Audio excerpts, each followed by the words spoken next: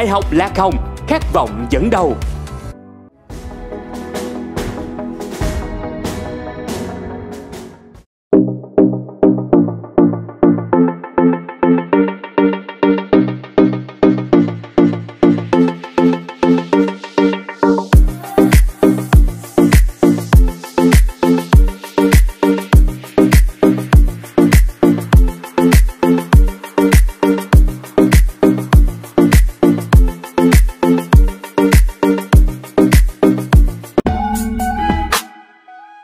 Música